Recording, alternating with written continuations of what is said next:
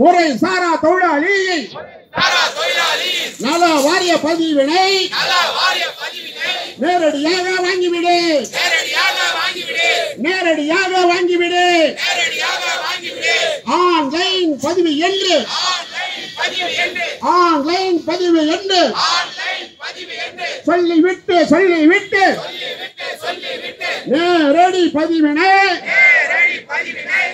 வாங்குவதை மறுக்காதே. வாங்குவதை மறுக்காதே.